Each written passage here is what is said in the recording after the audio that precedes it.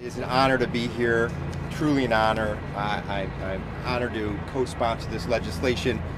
One uh, reason I'm here today is for my wife and uh, her family who escaped uh, what was the che uh, Czechoslovakia at the time when she was four years old and her brother was two years old.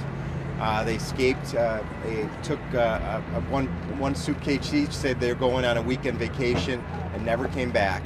Uh, their and uncle tried to do the same thing the next week and were captured and, and jailed. Uh, in talking with uh, my wife's father about his experiences and why he was so passionate about coming to the United States and getting out of communism, he talked about the fact that you know it doesn't happen overnight usually, as was mentioned here. Uh, they take your freedoms away bit by bit, and before you know it, it's all gone. So that's why this is so important that we're doing this today. For the last century, communism has left an ugly and deadly legacy in the world. Since its creation, over 100 million people worldwide have died at the hands of communists, and countless more have starved, been tortured, and persecuted.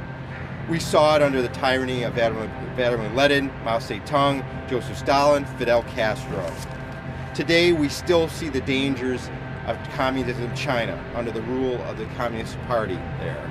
As we stand here today, millions of Uyghurs are, are facing religious persecution, slavery, and execution. The threat of communism re is real and is important we have the tools in place to combat it.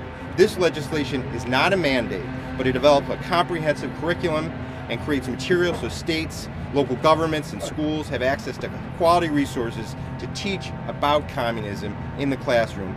I want to thank again Congresswoman Salazar for her leadership on this issue, ensuring that the next generation is armed with the facts that will help combat the rising threat of China and further protect the world from the horrors of communism. Thank you.